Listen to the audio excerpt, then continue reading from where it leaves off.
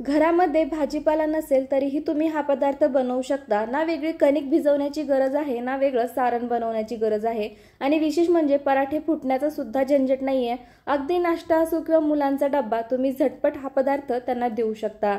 तर त्यासाठी ते सर्वप्रथम एक वाटी भिजलेली मुगाची डाळ घ्यायची आहे. तर घेतलेली मुगाची डाळ मी चांगली चार ते पाच तास भिजवून घेतली आहे. आता ही डाळ आपण एका भांड्यामध्ये काढून घेणार आहोत.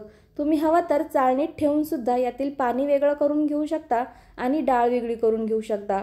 पण थोड्याफार प्रमाणात पाणी राहिलं तरी काहीही हरकत नाही आहे कारण खूप जास्त पाणीसुद्धा यामध्ये राहत नाही. अगदी थोडीशी हातावर धरायची आणि नंतर दुसऱ्या भांड्यामध्ये ठेवून घ्यायची. आता मुगाची डाळ साईडला ठेवूयात आणि एक हिरवं वाटण करायला घेऊयात. त्यासाठी सर्वप्रथम मिक्सरच्या भांड्यामध्ये कोथिंबीर घालणार आहोत सात ते आठ हिरव्या मिरच्या एक चमचा जिरे दोन इंच आलं आणि चार ते पाच लसूण पाकळ्या घेऊन मिक्सरला बारीक असं वाटून घ्यायचं आहे. मात्र बारीक वाटण्यासाठी इथे पाण्याचा वापर अजिबात करायचा नाही आहे तर इथे हिरवं वाटण सुद्धा तयार आहे.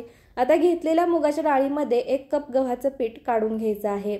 त्यानंतर यात घालणार आहोत दोन चमचे बेसन. आता यामध्ये घालणार आहोत पाव छोटा चमचा हळद पाव छोटा चमचा धने पावडर घालणार आहोत आणि पाव छोटा चमचा इथे गरम मसाला घालणार आहोत. आता यात आपण हिरवी जी पेस्ट वाटून घेतली होती ती घालायची आहे. तुम्ही हवं तर लाल तिखट किंवा इतर मसाले सुद्धा घालू शकता. त्यानंतर यात घालायची आहे भरपूर सारी अशी बारीक चिरून घेतलेली हिरवी कोथिंबीर. आणि सर्वात शेवटी यामध्ये घालणार आहोत चवीनुसार मीठ. आणि आता हे सर्व मिश्रण आपण हाताने एकदा मिक्स करून घेणार आहोत. मुगाच्या डाळीमध्ये सुद्धा थोड्याफार प्रमाणात पाणी आहे तर अगोदर त्यातच आपल्याला हे मिश्रण चांगलं भिजवून घ्यायचं आहे. जर पाणी जास्त असेल तर गरजेनुसार गव्हाचं पीठ सुद्धा वाढवू शकता. आता जशी गरज लागेल तसं याला थोडासा पाण्याचा हात लावून हे चांगला घट्टसर असा गोळा इथे मळून घ्यायचा आहे.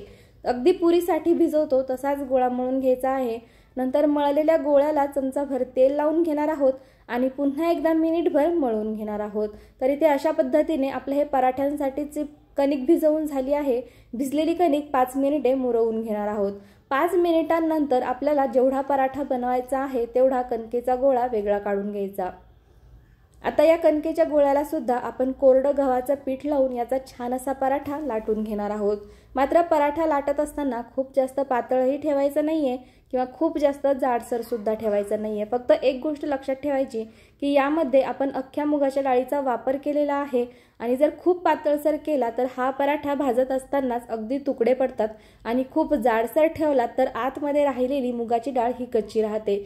त्यामुळे जेवढी मुगाची डाळ आहे त्यापेक्षा किंचितसं जाडसर ठेवायचं आणि हा पराठा तव्यावर चांगलं तेल लावून दोन्हीही बाजूंनी भाजून घ्यायचा आहे. इथे हा पराठा भाजण्यासाठी तुम्ही तेलाचा तुपाचा किंवा बटरचा सुद्धा वापर करू शकता. पण मी तर सांगेल की सुरुवातीला तेलाने व्यवस्थित भाजून घ्यायचा कारण तेलाने असे पराठे छान खमंग भाजले जातात आणि सर्वात शेवटी यावर बटर लावायचं आहे आणि बटर लावून हे पराठे चांगले भाजून घ्यायचे आहे की जेणेकरून बटर हे लवकर जळून सुद्धा जात नाही आणि शेवटपर्यंत पराठ्यांना बटरचा फ्लेवर तसाच राहतो. तर इथे अशा पद्धतीने हा पराठा चांगला खमंग भाजून घ्यायचा आहे. सुरुवातीला कडक दिसू शकतो पण जसजसा थंड होईल किंवा एकावर एक पडले जातील तसतसे पराठे छान मऊ लुसलुशीत होतात.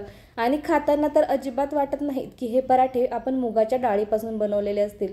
ना यासाठी आपण कुठली भाजी वापरलेली आहे किंवा सारणही वेगळं करण्याची गरज नाही किंवा कणिकसुद्धा वेगळी भिजवण्याची गरज नाही. आणि एवढं सगळं केलं तर वे पराठे फुटतात ते वेगळंच आणि आणखी काम वाढतं ते तर वेगळंच आहे. तर इथे अशा पद्धतीने हे झटपट असे मुगाच्या डाळीचे पराठे तयार आहेत. तर तुम्ही सुद्धा ही रेसिपी नक्की ट्राय करा आणि कशी वाटली हे कमेंट करून नक्की कळवा. आणि चॅनलवर नवीन असाल तर किरण्स किचन मराठीला सबस्क्राईब करायला विसरू नका. धन्यवाद.